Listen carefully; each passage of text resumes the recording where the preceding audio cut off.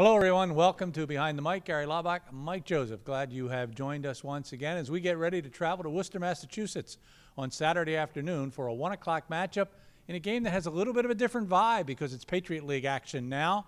And, and naturally, we go up against a team that right now looks like they're favored to win the league. Uh, they're outstanding. I mean, this is a team that really, honestly, if they look in their own locker room, they should be four and zero. I mean, they had Connecticut uh, twenty to seven with a couple minutes left in the third quarter, and then last week, obviously, an extra point uh, took that win away from them, and then missing the two point conversion. But this is a team that really hits on all all facets. They can do everything offensively. With Peter Pujals, they're fantastic. You're going to see him in an NFL camp next year.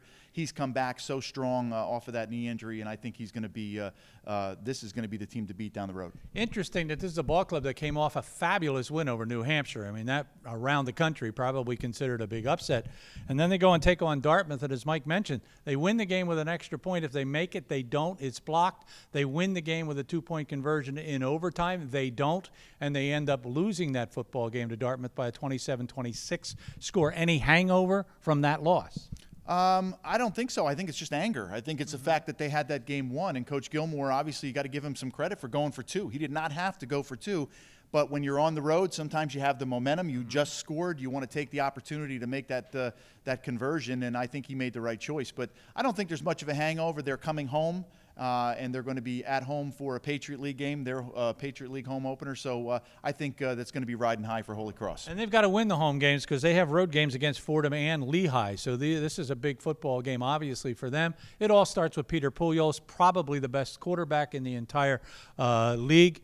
Uh, no question about it. He has put up spectacular numbers, and uh, he's got great receivers. He's got DeNicola, Bell, Montgomery. Those three guys have 52 catches alone. So it is a very potent offensive attack. But their running game hasn't quite been what you would think it would be uh, with a good, outstanding running back in Daquan Walker. Yeah, I think Daquan's been a little nicked up. He hasn't played as much, I think, and gotten the actual touches that they've wanted. Um, but you could look at a guy like you and I talk about Blaze Bell, mm-hmm. a guy that uh, uh, we saw play backup quarterback mm-hmm. for so many years, and then you got to find a way to get your best 11 on the field. And again, give Coach Gilmore a lot of credit. He put a kid in a position to make plays, to get touches, one of the best athletes on the team, and Peter Pujals has really found, I think, uh, a star in him. So they, they're becoming a, a very good connection. But Pujals does everything well. I mean, he really does everything well. He hasn't run the ball as much since the injury and really since the uh, junior and senior year, but um, he's always a threat. You cannot allow him to get outside the pocket. He'll hurt you. You can't let him extend plays he'll hurt you. So uh, Lafayette's going to have their hands full getting to quarterbacks not only in creating those first down and long, or excuse me, second and longs and third and longs. I think that's the way to get off the field defensively. And there have some been, been some positives for Lafayette. Obviously, Sean O'Malley playing better. He again is Patriot League Rookie of the Week. That's his second honor as the Rookie of the Week. He had a career game last week in the football game.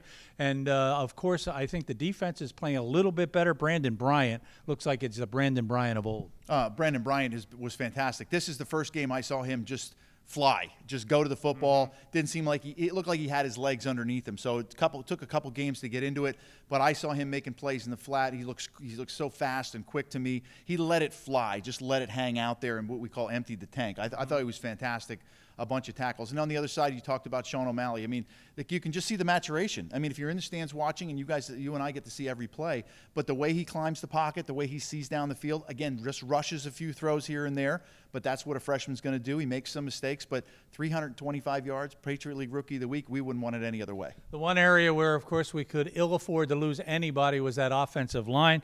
Greaser, Marotti were out injured. Marotti, I think, came back in the ball game on Saturday. Uh, Mike, that will continue to haunt us, I think, all year long. Uh, yeah, I think it's going to be patchwork from here on in, but give Coach Sams a lot of credit. I, I thought they, if they didn't have to get into a situation where they needed to throw the ball so much, they would have run the ball for 100 yards. They had 50 yards rushing, except for a couple sacks here or there. They had 50 yards rushing by uh, Deshaun Brown, and I thought C.J. Emil did a great job as well. But they were on their way to a very good rushing game, but they were taken out of the running game by the ability, the fact that they were behind. They had to throw the ball. So I think things are moving along, and give those guys a lot of credit. We had a patchwork offensive line, and I still think they did very well. Well, this game takes on extra importance. It's the Lafayette first Patriot League game of the season. We'll be in Worcester, Massachusetts. You can watch the ball game on LSN, or of course, if you have RCN, you can watch the game on RCN TV. Masson will also be bringing this ball game, so uh, make sure you tune in if you can't get up there, and we'll see you next week behind the mic.